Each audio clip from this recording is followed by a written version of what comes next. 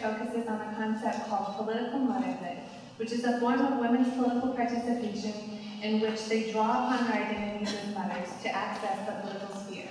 I look at civil society, the realm of social movements and activism, in difficult political environments such as armed conflicts, authoritarian regimes, and illiberal democracies.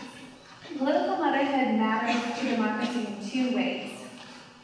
One, women using political motherhood are able to argue that they're not in fact being political, but are just fulfilling their maternal obligations. This is very useful in constraining civil societies where political rights and civil liberties have been curtailed. Political motherhood is also inclusive of women who have traditionally been ignored in politics. So women are able to use their femininity to enter a political space that's been dominated by men.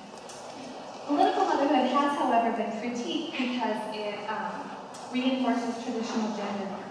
So after the war is over, after the political parties return, women can get pushed back into the kitchen or back into the home sphere because they're also themselves talking about their domestic um, identities.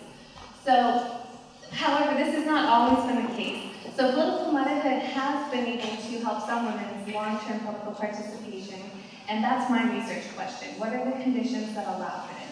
So I have a two-case research design. One is the Madres of the Plaza de Mayo, and then together is a group called the Mothers Front that formed in Sri Lanka during the Civil War. So the Madres of the Plaza de Mayo, they organized against a military regime in Argentina in the 70s, and they're actually still organized today. It's their 41st year of, existence. The Mothers Front formed in a different but similar context.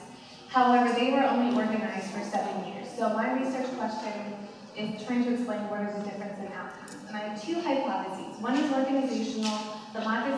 De Mayo organized themselves and were autonomous, whereas the Mothers Front was founded by a political party, and the party is the one who directed their activities. My other hypothesis looks at um, sort of the framing, which is the packaging that you put around your political message, and I argue that the Madres of the Plaza de Mayo emphasize their maternal authority more so than the Mothers Front, which emphasize their maternal emotionality, sort of like rage against the state for disappearing their children and the loss of the sorrow of their children.